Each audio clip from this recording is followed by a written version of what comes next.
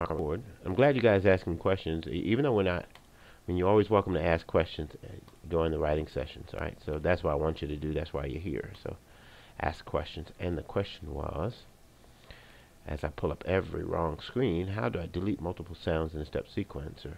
You always have to right-click, then delete one at a time. All right, cool, great question.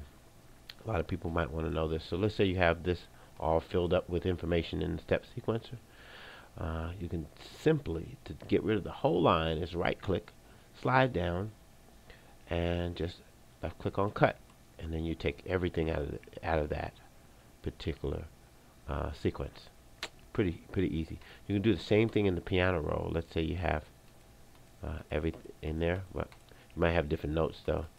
You, you can just highlight that line by double clicking, holding down, and then delete. Okay delete. Double click delete.